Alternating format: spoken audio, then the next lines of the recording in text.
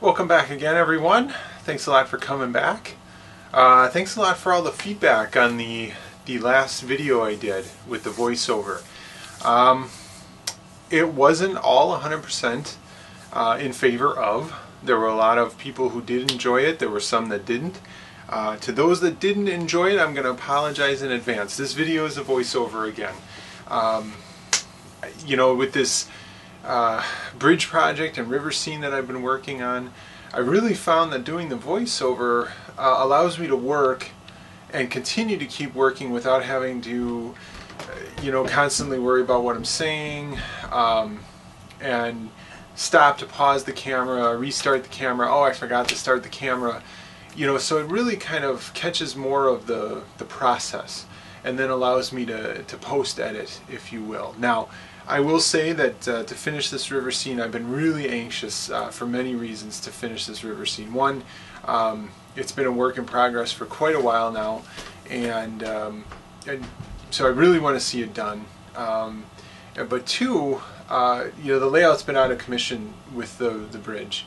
Um, it's the main line, so I really can't run trains. I mean, I can switch in areas, but you know, like I said uh, in videos past, I really like to run trains while I do stuff at the workbench, and that's kind of prevented me. So I've really, really wanted to get this scene done.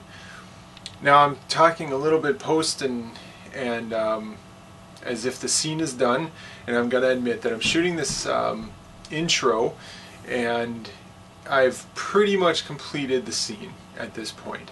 Um, but uh, the video upcoming is going to be the final steps in, in what took took place to get me to that point. Um, and I will say that there were a few little miscues um, involved in using a self-leveling product such as epoxy. Um, I will say that the um, self-leveling feature yeah, holds true. So you'll want to make sure that if you do use the product that you check and make sure that your layout is level in that area or you'll get a nice a large pond where you may have expected a small pond with the river leading up to it.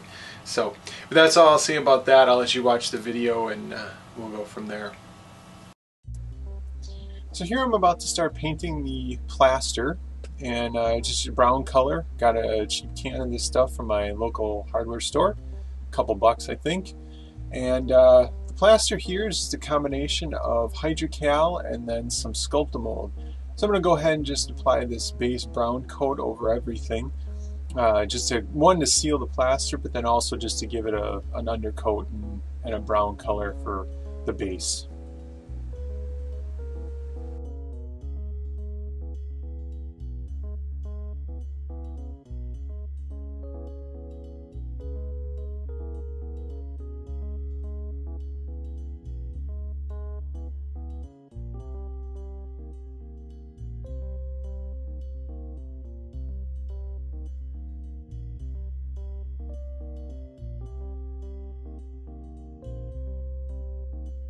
So here everything's painted and has a little bit of ground cover applied.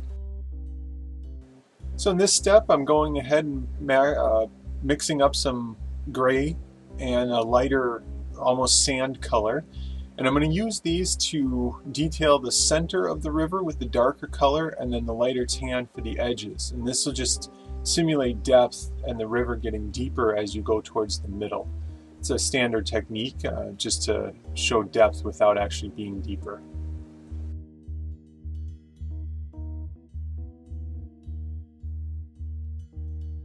So here I'm taking the two paint colors that I mixed. As you can see, this is like a sandy color, slightly lighter than the rest of the brown. And I'm just applying it to the edge of the uh, river itself, kind of where the banks will be. And uh, this is going to be covered with rocks and sand and stuff to simulate the banks. But uh, for now, I'm just giving it a good undercoat. While I've got the color, I'm going ahead and making uh, the same thing on the island in the center here island in the stream, if you will. Okay, that was a bad Kenny Rogers reference there. Sorry to Dolly Parton. Uh, but going ahead and just painting all of this a lighter color, as these are the raised areas of, uh, of the scene itself.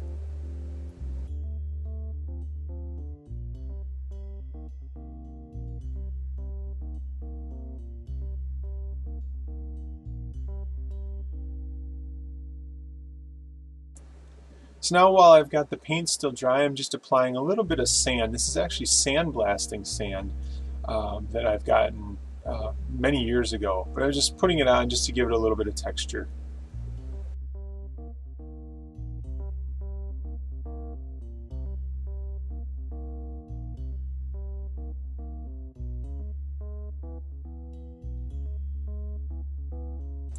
So here I'm going to take my cup of joe, actually it's just dark gray paint, and I'm going to go ahead and apply it down the center of the river. Um, now what I learned in doing this process is that you definitely want to feather the two colors together better than what I did. And um, I ended up having to compensate for that a little bit later on. So I highly suggest that you do this in layers and you apply your darker colors in the middle as I'm showing here but then you come back with the lighter color and, and really kind of feather in the lighter color because these hard lines are not going to be hidden by the epoxy when you apply it. Um, now I, I figured out a way to hide that, but I think that it would have been a much better method had I feathered these in uh, before I applied the, the epoxy water.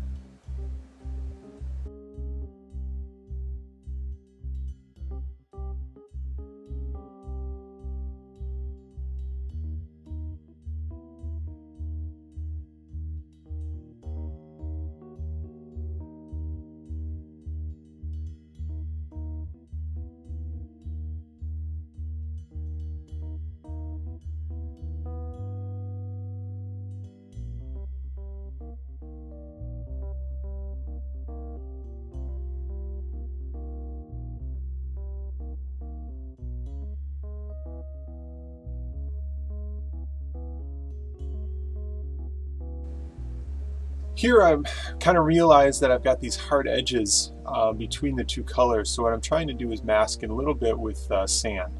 Like I said, I, I think the preferred method would have been actually to come back with paint because this still didn't blend as well as it could have.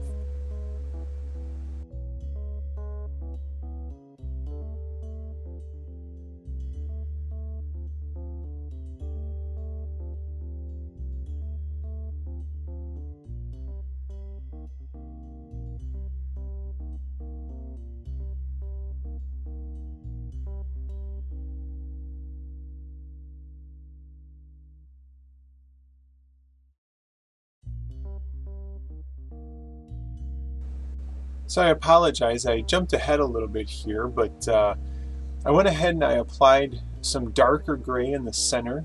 Um, it's actually a slightly darker gray than I had been using. And then I also applied a little bit of Woodland Scenics Talus in here.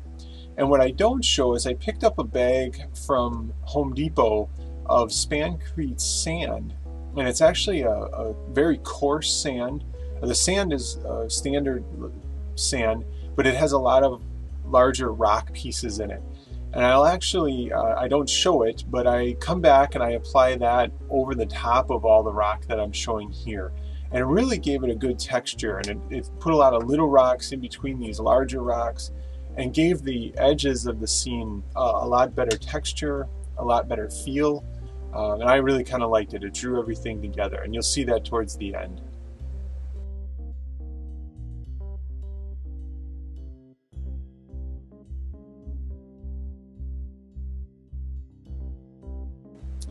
So here what I'm about to construct is basically some walkways leading up to the bridge themselves.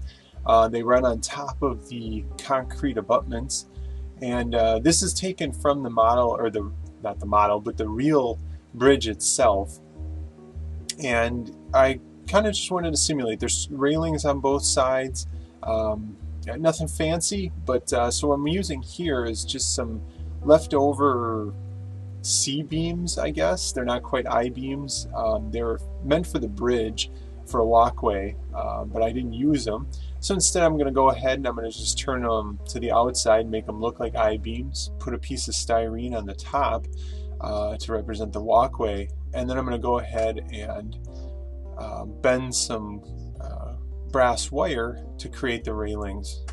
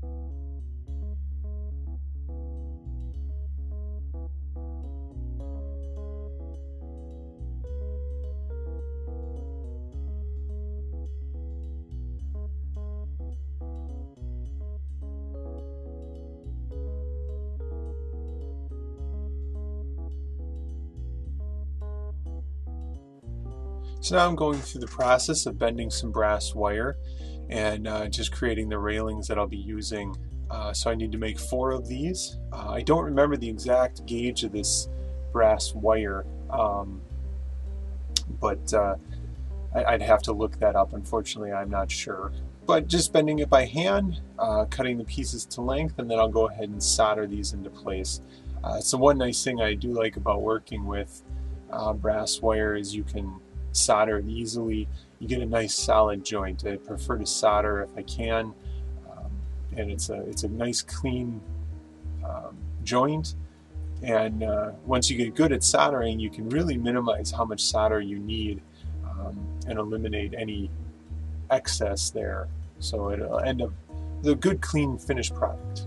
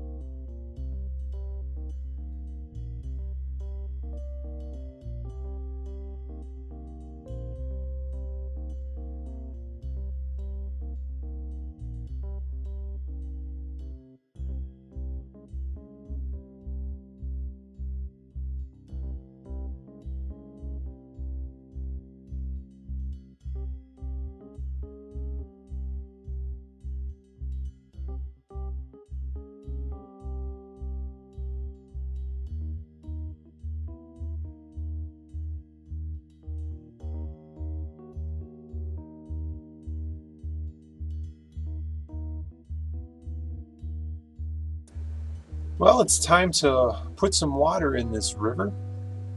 So what I'm doing here is creating what I think will be uh, enough of a dam to stop the epoxy from uh, leaking off the, the layout. Think being the key word. Uh, needless to say, by the time this project is over, you'll see a 1x4 piece of wood put in place here and uh, that's what ended up re being required to hold all of the epoxy back. As you can see here, I've also applied the um, sand mixture that I mentioned, and uh, you can see I've kind of layered it into the deeper sections just to create like a sandbar in the middle of the layout. Here you're getting a great shot of my shoulder. Uh, the one problem with kind of working and recording at the same time is sometimes you're not paying attention to what the camera's shooting. I apologize.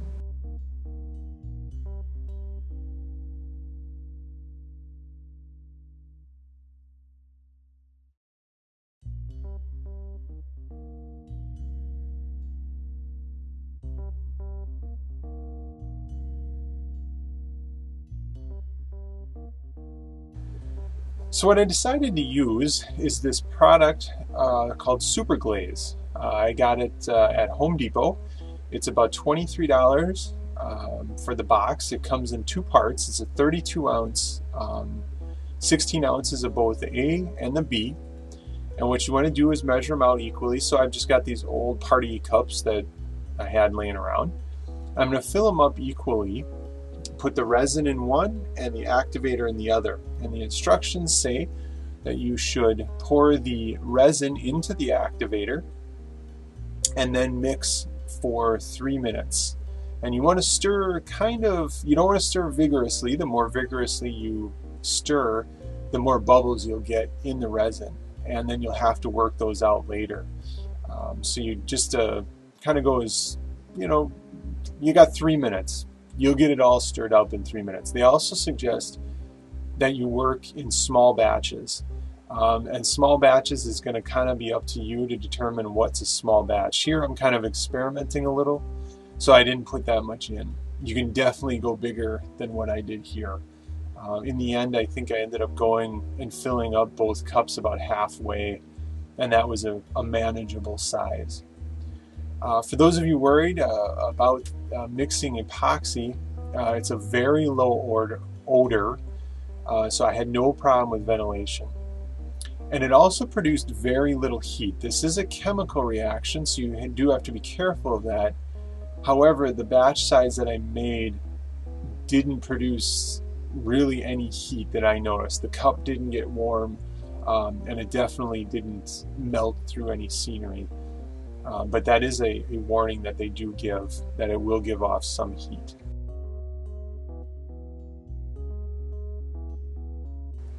So I'll spare you the entire three minute mixing process here. I've just got my phone, which I'm going to epoxy into the um, layout. I'm kidding, there's a timer. And uh, so I'm just slowly stirring. And you can see I'm getting a little bit more vigorous here, but um, this is the first batch and kind of should have learned my lesson. You get a lot of bubbles in there. And there as the mixing is done, time to pour.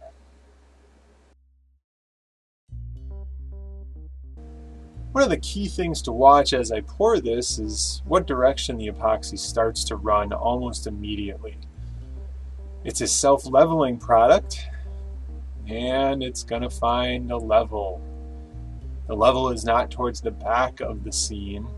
Oh no. The level is towards the front of the scene. So it starts to work its way down river.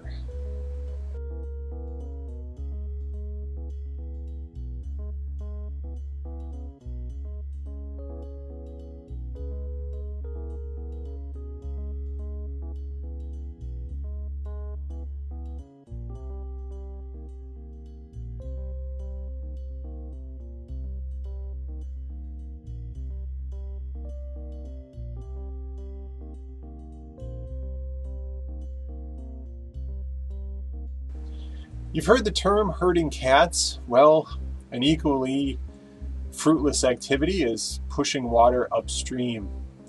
That's what I'm about to attempt here, because as I said, the scene is tipped forward just slightly. So, I believe that I can push this epoxy back and it'll set quickly. Guess what? It doesn't. It doesn't set quickly at all. You got about 20 minutes of working time, and it doesn't set for about two hours. So what ended up happening is, is the water is definitely, or the epoxy is definitely thicker at the edge of the layout as opposed to the back. Now, when the scene is finished, it's hard to tell, um, and then the front of the layout will be covered by a, um, a fascia, fascia once I'm done with that. But uh, for the time being, I wasn't sure what was going to happen.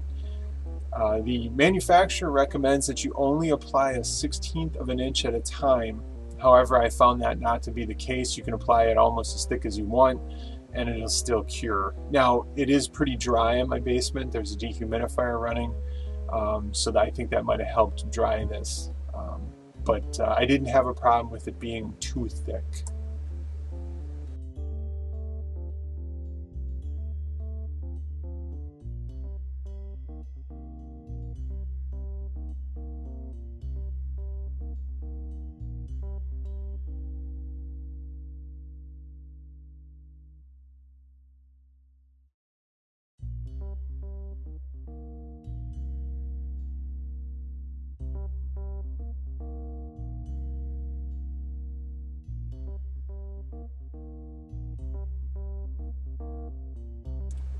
So to help hide these unsightly lines here, as you can see in the epoxy, uh, the paint, what I've done here is I mixed another batch of epoxy and then tinted it with Polyscale Grimy Black. Um, you know, when you look at most rivers on Google satellite pictures, you can see the water doesn't look blue, it doesn't really look clear, it generally has a darker tint to it.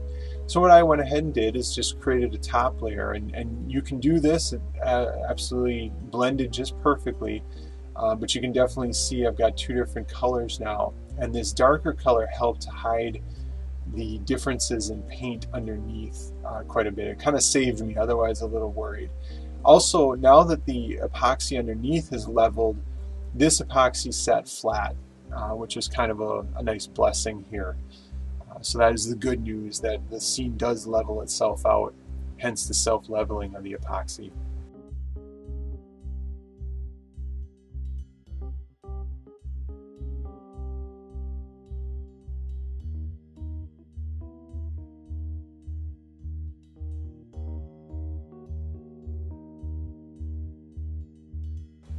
So flash forward a little bit here, you can see that I've got the darker color in um, I, I personally thought it turned out really well. It hid the bottom of the river scene, I thought, quite well. Um, so what I'm applying here is a Woodland Scenics product called Water Effects.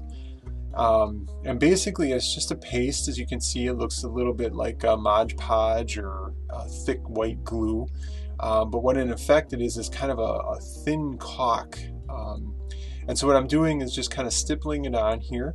And wherever I put this, I'm going to end up with a, a textured surface. And um, this helps to simulate the um, almost like as if the water was in motion uh, instead of just being still. And then, uh, but what I also do is I apply it to some of the rocks um, to show water kind of lapping up on the rocks, especially to the back side of the abutment here where the river would be flowing downstream and washing up onto the rocks itself. Um, but for now, I'm just kind of working on this side of the, the river. Uh, and the thicker you apply it, the, the more defined the water effect is going to be. So I'm kind of making it thin here because it's just the river, surface of the river. Um, so you squirt some on and, and work it around.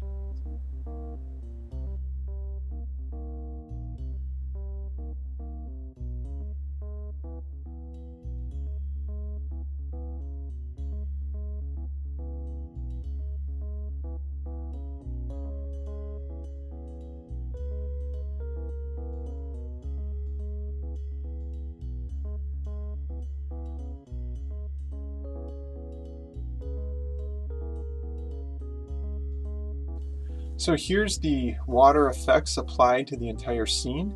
Um, and uh, this is going to start to dry clear. As you can see on the right here, it's already started to dry to some degree.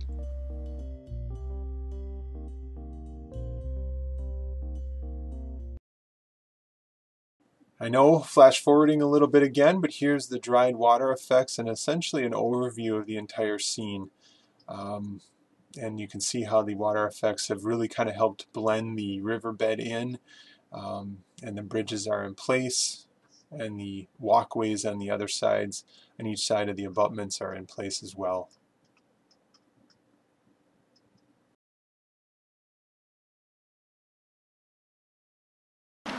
It is the inaugural first train over the river bridge. Let's see how it goes.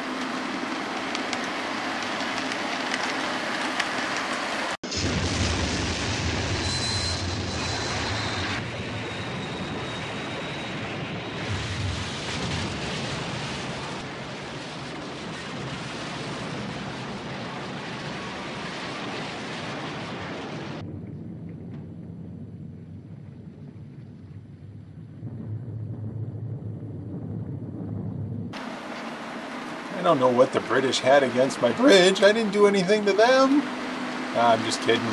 Here's the first actual run across the bridge.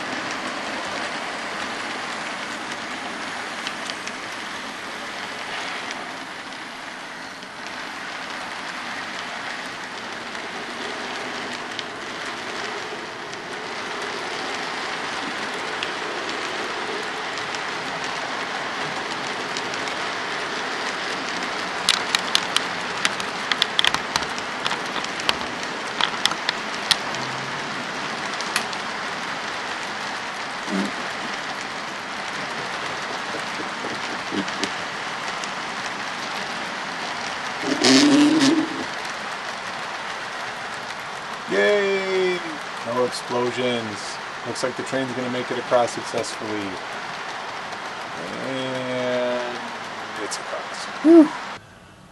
All right, well, that was the uh, the unveil, the the process to get there, and then the final scene. There's a few things I need to finish up. I need to put ballast in on the track leading up to the uh, actual abutments, actually on the abutments themselves. I kind of wanted to get the train running and just uh, you know get a good visual. Um, like I said, I've been so in, itching to to get these trains running again um, that I just kind of had to get it to that point. So. Um, I hope everyone enjoyed it. Um, I'm really happy with the scene, how it turned out. My first um, kind of adventure with uh, epoxy. Uh, I found it to be a, a really workable product. Um, really liked it.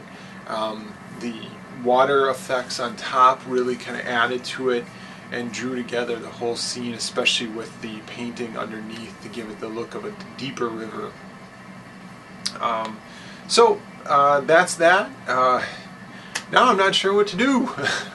um, that scene's been in process for so long that uh, I'm going to take a step back now and, and, look at what else I've, I've got on the docket. I've got um, some background buildings and a, where, and, a, and a plant that I'd like to work on. Um, so maybe that'll be the next thing. Um, you know, I've got a concrete area, a concrete um, distributor that I'd like to work on as well. Uh, we've got one right here in, in downtown Milwaukee. Uh, that would be a great reference. Um, you know, they receive carloads of, of uh, dry cement and they transload it into, sometimes if you go past there, they'll be transloading it right into trucks. Otherwise, there's silos there that they load into as well. So that might be the next project. We'll see. Um, hopefully, uh, we got something good coming though. So thanks a lot for sticking with me. Um, sorry to those of you who didn't care for the voiceover. Um, like I said, in the future I hope to do maybe a combination of both uh, just to keep me working but then also ramble on as I work. So stick with me. Um, I'll be sure to, to try and, and, well, you can't make everybody happy, but I'll do my best. So thanks a lot, everyone. We'll see you next time.